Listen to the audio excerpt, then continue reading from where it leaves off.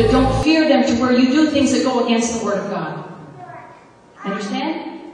Okay. This is the end of part one. Thank you.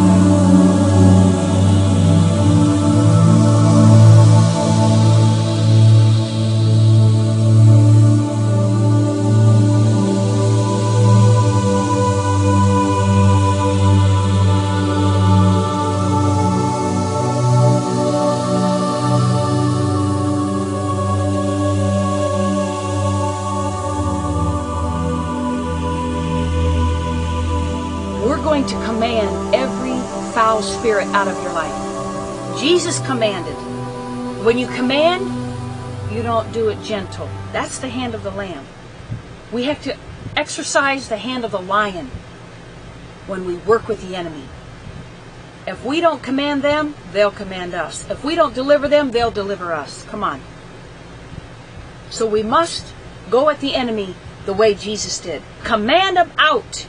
Are you ready?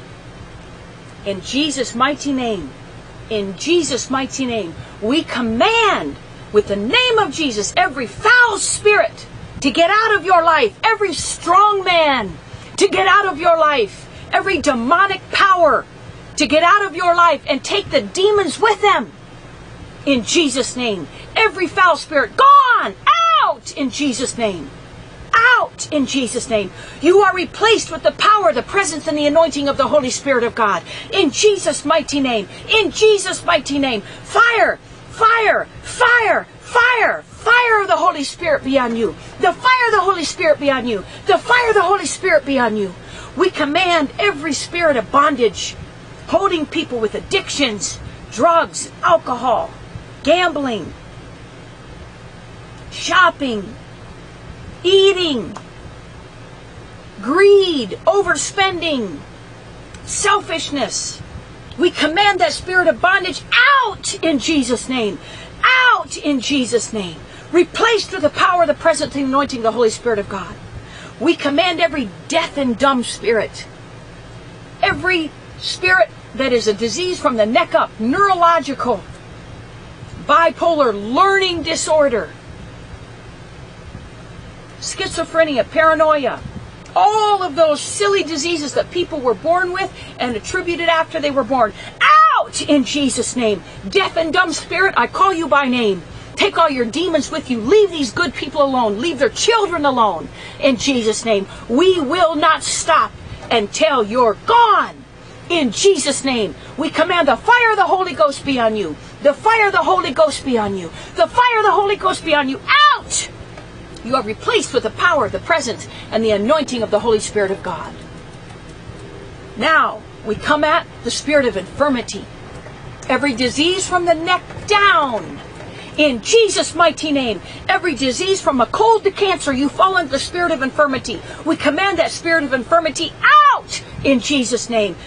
Out in Jesus' name. Out in Jesus' name. You're replaced with the power, the presence, and the anointing of the Holy Spirit of God. You keep this up and you keep it up and you keep it up. If you're feeling irritated, if you're feeling heat on you, that's the demon feeling the heat of the Holy Spirit and it's working its way out. It's getting off your back. It's getting out of your house, your problems. Keep it up. Be persistent. That devil's job is to wear you out. It's your job as a Christian to wear him out. Kick him out and keep him out. Do not give up. Do not grow weary in well doing, for in due season you will reap if you faint not. Don't faint. Don't let the devil overtake you and overtake your children and your finances and your career and your health and all of it. Get him out. Don't deal with it. Deliver it. In Jesus' mighty name, we command the spirit of perversion and whoredom out.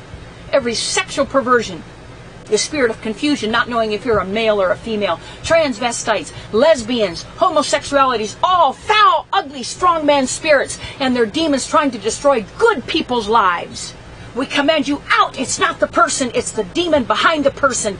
Command them out. You hate the sin and you love the person. In Jesus' name, we command you, foul spirits, out! Get out! Of these good people's lives. Get out. It is against the Bible and it's against God. We must be on God's side to make it to heaven. Hell is real and so is heaven. I love you enough to tell you get that demon off your back. Be free. And who the Son of God, the risen Son of God, sets free is free indeed.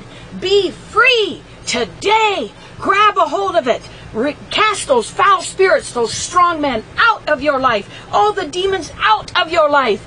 And be free. Replace those spirits with the power, the presence, and the anointing of the Holy Spirit of God. Read your Bible every day, especially after deliverance. Self deliverance is very possible.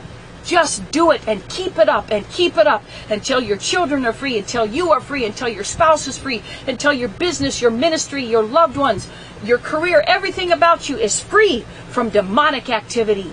You have the power to do it. The Word of God, the blood of Jesus, the fire of the Holy Spirit is so amazing. The devil hates the fire of the Holy Spirit. Burn up those things. They can't stand the fire of the Holy Spirit.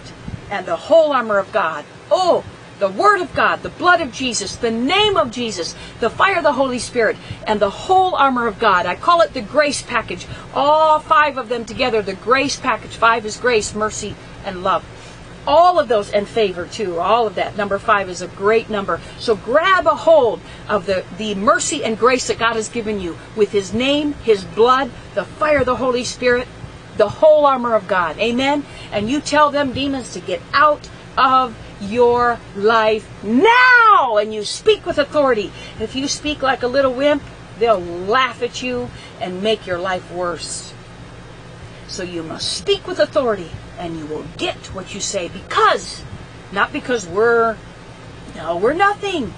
Through Christ we can do everything. Nothing is impossible with God. And when we link to God, we can do anything. It's aligned up with God's Word. He gets the glory, not us. We stay humble. He gets the honor. He gets the respect. After all, we're these little people and He's this big spirit that created the universe? Come on. God Almighty. Jesus Christ, the risen Son of God, the powerful Holy Spirit, who is everywhere at all times and is there for you every day. Utilize what God has given you, especially now, in these last days, especially now. Set yourself free. Set your children free. You can't give away something that you don't have. And if you're not free yourself, you can't deliver others. So always focus on yourself first. Jesus said, um, get the plank out of your own eye before you pick the speck out of someone else's. So focus on yourself first when it comes to deliverance, and then deliver others and pray for others. When it comes to love and mercy and giving, that's when you focus on others before yourself and love your neighbor as yourself. Amen. So I pray that these deliverance prayers worked, and if you're feeling irritated yet, if you're feeling frustrated yet, that just means those demons know that you want them out. That means that they're still in there, they're still on your back, and they got to go. But if you feel free, that means they left. They're gone.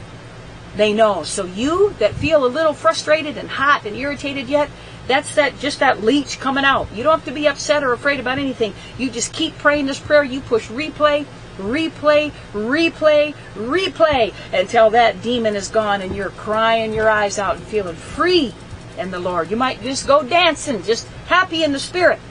Not at the bars. I'm talking dancing with the Lord like, like King David danced. You might cry your eyes out and just feel free. That's beautiful. It's a it's a release. I'm free. Many, many people do that. So keep pushing replay and get them demons out of your self first and your loved ones and everything else to do with you. You're on an assignment. You want to make it to heaven? You have to have deliverance. You do not have to speak in tongues and you do not have to be baptized and you do not have to call God by certain names to make it to heaven. But you need deliverance. Jesus instructed his disciples, go ye into all the world, preach the gospel, lay hands on the sick, and watch them recover. We need we need to incorporate this into our churches, every one of them. Teaching can only go so far. If the people's lives in the pew are not changed, you need to find another place to go. Because we have to have teaching and healing and deliverance and prophecy in the church. Have all that God gave us going on inside the same church building at the same time, or the, otherwise, the truth is the Holy Spirit is nowhere in the building. Everybody's just working off of knowledge, what they know, what's written in the book, and doing their routine and going to church. I know I did it for years. I realize that's religion. That's entertaining the crowd. That's just doing the routine. But the relationship is when it comes from the heart. The relationship is when you do it from the heart. You set your congregation free. So Monday, Tuesday, Wednesday, Thursday, Friday are different for them from the last Monday, Tuesday, Wednesday, Thursday, Friday. They're different. They're changed. Their life gets better and better and better. The demons are out. The people are healed. The prophecies come to pass. The prophecies give encouragement, give them hope and faith, and they get the teaching from the Word of God. Come on. You'll know them by their fruit. Let's have good fruit. Replay this over and over again until those demons leave your life, get off your back. It's not your fault. We were all born in sin. Then we realize when we wake up, we grow up, we have to get this sin off of us to make it to heaven. Deliverance. You do not need to be baptized or speak in tongues to make it to heaven,